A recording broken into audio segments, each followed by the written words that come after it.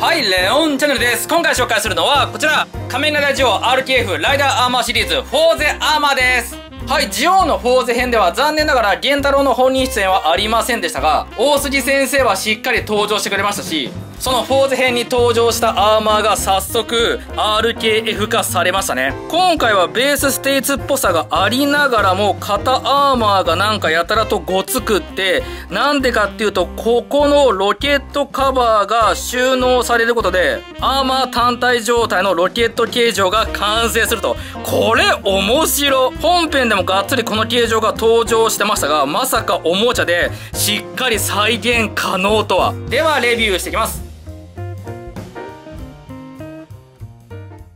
てか、相互は宇宙来たじゃなくて宇宙に行くっていうね、謎のセリフを発しておりましたが、あの変形状態とかまで再現できるのかな？うわいいめっちゃいいロケットパーツがいっぱい入ってる。これまでビルド、ゴースト、エグゼードと割と人型のアーマー形状が基本でしたが、今回はロケット的な形がありきになってますね。しかも色めっちゃ多いし、全部塗装で、あれ、シールはない感じだ。両面仕様じゃないからか。あ、リバーシブル仕様じゃない。中にはまず合計4つのパーツが入ってて、これをロケット型にするためには顔を前に出して、ここでロックして、あ、カチッとはまりますね。バックパックを下側にずらしつつ、ここの4つのジョイントを位置合わせて、ここの受け側のジョイントで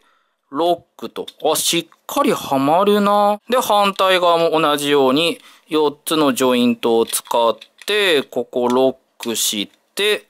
あとは足パーツ。これを、もも部分を内側に収納すると。そうすると膝アーマーのここにジョイントが出てくるから、ベルト下のここの2つのジョイントに位置合わせてロックすれば、まずは、ライダーなし状態のアーマーのみの状態の、フォーゼのロケット形状が完成しました。あ、ここもロックする感じが、すげえめっちゃかっこいいじゃん面白 !RKF 一気に進化した感がある。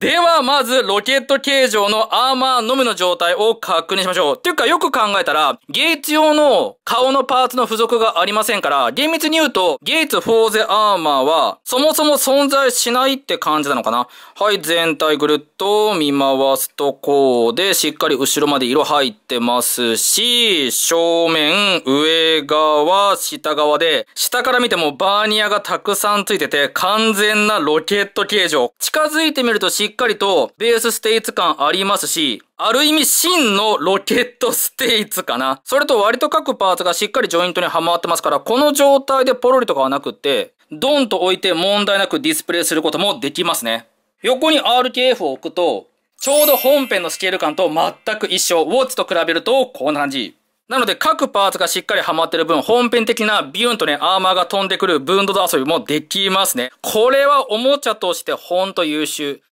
では、RKF ジオを使ってフォーゼアーマーを装着。そして説明書に書いてあるんですが、まず完全なアーマー装着の前に、前回の放送でもあったライダーキック状態の半分変形状態、ロケット状態の、あれが再現できるって、どうやるかっていうと、この状態から前面のロケットパーツ外して、横のアームロケットパーツも外しつつ、このまま上から被せると。はあ。はまるのちゃんと。あ、いける。あ、いけた。はまった。内側にジョイントがありますから、これ差し込んで、ここからロケットの位置を戻すと。同じようにジョイント4つ使って腕に被せるようにはめ直すと。あ、ちゃんとはまるんだ、ほんと。やばいぞ、これめっちゃ遊べるぞ、フォーゼアーマー。足このままの状態でさっきと同じように、ここのベルト下のジョイントに、ロケットパーツの下側を元に戻せば、おできた！これでもうちょっと足を寄せれば、宇宙ロケット切りもみキークのフォーゼアーマーライダーキック状態を再現することができました。すごいね！これできるんだ。面白めっちゃ楽しめるじゃん、このおもちゃ。宇宙に行くのアナザーフォーゼを宇宙に押し出すあのシーンを再現することもできますね。完璧なおもちゃだ、この時点で。この状態で一応自立もできますので案外バランス感悪くないし、要は完全なアーマー装着状態とライダーキック時の半分ロケット状態の2つのアーマーで、この RKF は遊ぶことができるんですね。ただこうやって立たせると、ちょっとぬいぐるみ感、着ぐるみ感かありますけど、かわいい。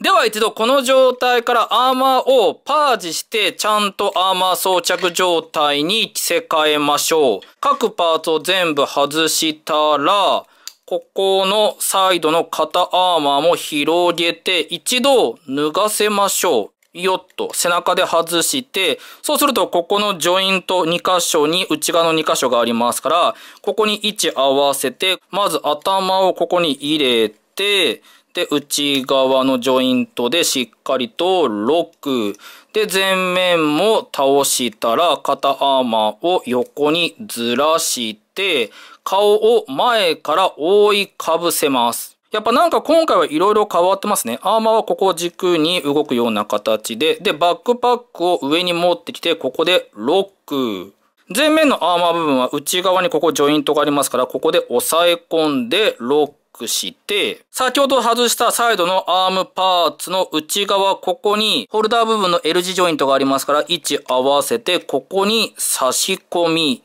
なので、パーツすごく安定してはまりますね。反対側も同じ手順で差し込んで、そして前面のロケットパーツ、これが左右に分かれて、内側にもものアーマーがありますから、上に出して、反対側も出して、内側にジョイント穴がありますので、ここを使ってもものジョイント穴に被せながら差し込み、反対側も被せながら差し込み。今回は2箇所じゃなくて1箇所でアーマーを装着するような形ですね。なので、ここはちょっとパカパカしますけど、はい、これでしっかりはまりますので、あとはポーズ微調整すれば、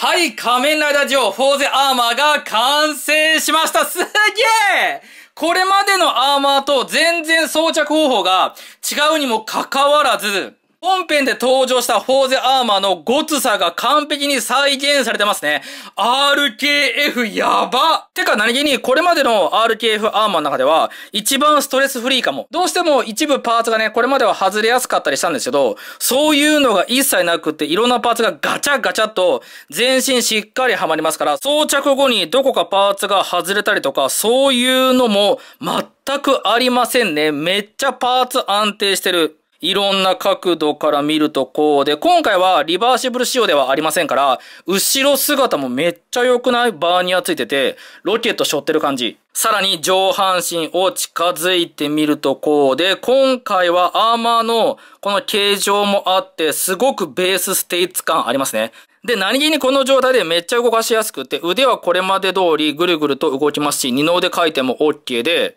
腰はアーマー形状の絡みで動きませんが、あと顔もね、上からお面を被せるような形ですから、でもこのパワードスーツ感めっちゃ良くない？なので、横にずらすことができないので、横向きポーズもできないんですけど、下半身は1個のジョイントではまってるのみで、そのおかげですごく自由に動かすことができますね。これまでのアーマー装着の中でも特に動かしやすい。なので、この状態で割と大股広げて、はい、こんな感じのアクションポーズを取らせることもできますし、ここから腕を前にかざして、右手のロケット攻撃なんてこともいけますし、別角度から見ても良くないで、簡単に外れますから、ロケットパーツのみを射出して、超中距離攻撃もできますし、簡単に戻すことも OK と。上にかざして、宇宙来たのポーズも、ギリいけるかなあ、いけるいける。はい、ここでもゲンタロウっぽいポージングいけますね。めっちゃ動かしやすい。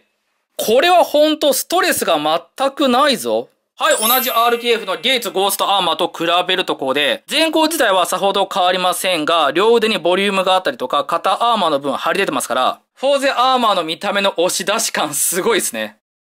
ただそもそもゲイツが装着することを想定されてないので、一応ゲイツに着せることもできますが、本当にアンダースーツカラーが変わるのみですよね。お面外して、外して脱いで、ここから同じようにゲイツに着せると。ジョイントの箇所はゲイツもジオも変わりませんので、前からお面かぶせて、ももアーマーに両足のパーツを装着。いや、やっぱ簡単だわ。そしてホルダージョイント穴に、後ろのバーニアだけ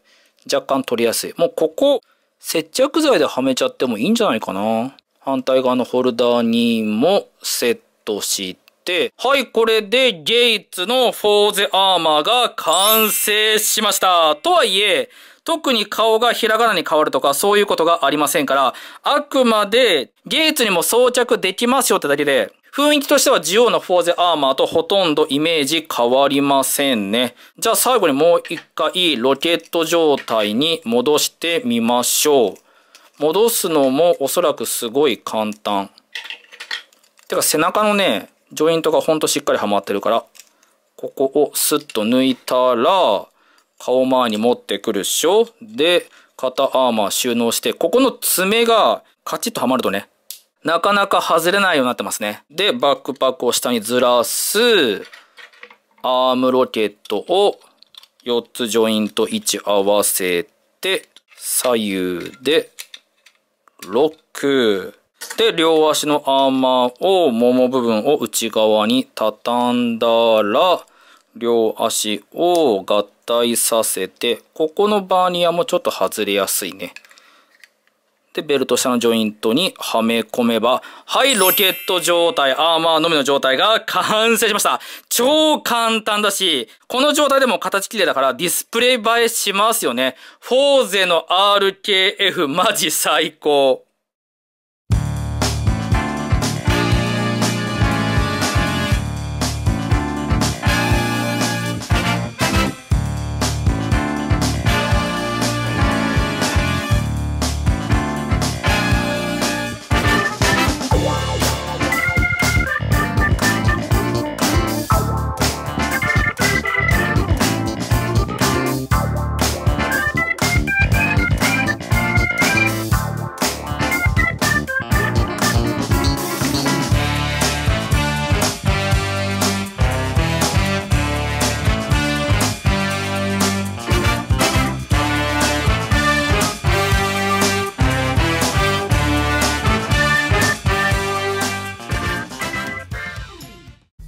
はい、ということで、仮面ライダージオ ウ RKF ライダーアーマーシリーズフォーゼアーマーを紹介しました。前回レビューしたエグゼイドアーマーが個人的に評価が高かったんですけど、それを超えてきましたね。本編でやってた一通りのアクションを全部再現することができますし、アーマー脱着もすごいお手軽で、しかも装着した後のパーツの安定が半端なくって、ガシガシ動かしても全然パーツがポロリすることがありませんでしたね。RKF のアーマーシリーズも今回でほんと進化した感がある。ただ次は3体合体のオーズアーマー発売しますから、それも楽しそう。なんですけど、ファイズアーマーとかドライブアーマーとか、あの辺は RKF で登場しないのかな？個人的には出してほしいんでちょっとその辺の RKF のアーマー系の商品展開が今後気になりますね。以上、仮面ライダージオウ RKF ライダーアーマーシリーズフォーゼアーマーの紹介でした。